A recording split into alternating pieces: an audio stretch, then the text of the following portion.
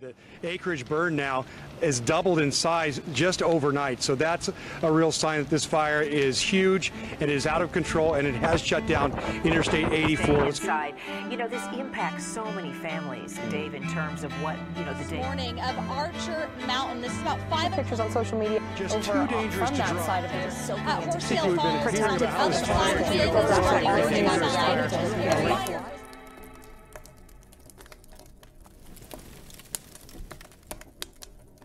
The recurrent narrative that we see so often around wildfires is event driven, it's uh, image and spectacle driven. So it is focusing on a severe fire happening in the moment um, and the risks to the public from that fire. That's, that's the dominant narrative.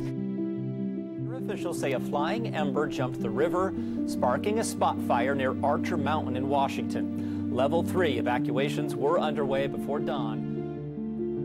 Um, there are some researchers who have talked about disaster myths, and these are things that are repeated in print and, and other forms of media. But uh, ideas like after a disaster, there's, there's a lot of social upheaval, there's a lot of rioting, there's, there's social discontent. The research actually shows that there's a lot of social cohesion during and after fires and other types of disasters. There's also a, a huge focus on issues of damaged buildings, for example, homes being burned down, and of course, when there are fatalities, there's a lot of focus on death or injury. But there's very little coverage in the print or other media of other types of impacts beyond, say, homes that are burned down, cars that are burned down, or injuries to the public.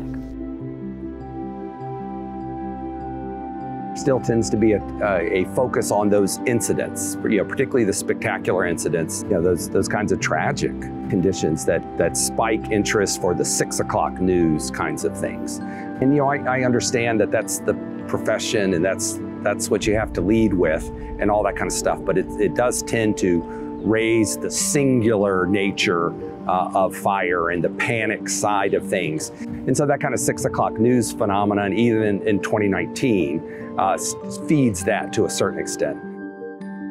Fire officials shared scary anecdotes, though, from Warrendale and Dodson communities. Both of those towns apparently very at risk. There's a lot of acceptance that we need to have a better understanding of the social science side of things. I think that there's still a lot of focus on risk communication in terms of how can we communicate to the public exactly what we want them to think. And I think there's still some room to be done in terms of not just how can we communicate to the public, but how can we learn from the public as well? Um, how can it be this sort of bi-directional relationship uh, between society and fire managers and the agencies that manage most of the large fires?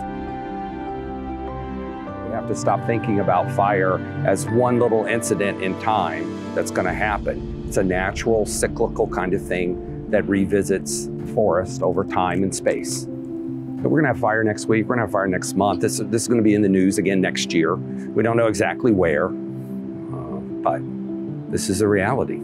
There is no future without fire and smoke.